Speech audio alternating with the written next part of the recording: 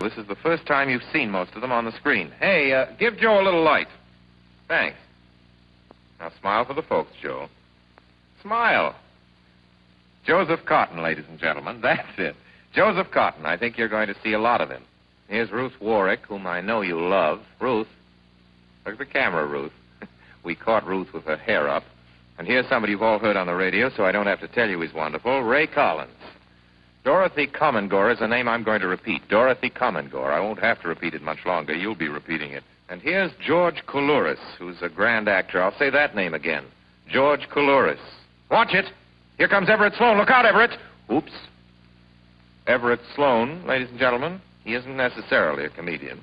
And here's one of the best in the world Agnes Moorehead. I've said a lot of nice things, but Erskine Sanford deserves some more. Erskine. Erskine Sanford.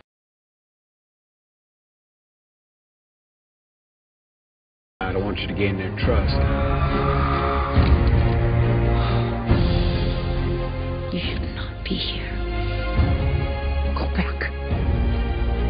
I need your help.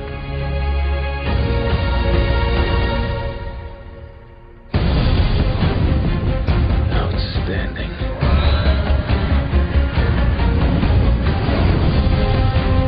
Haven't gotten lost in the woods, have you? Did you forget what team you're playing for? Strong prey on the weak, and nobody does a thing. Lots of guns. No one has ever done anything like this. That's why it's going to work. Mr. Anders. What are you trying to tell me? That I can dodge bullets? No, Neo. I'm trying to tell you that when you're ready, you won't have to.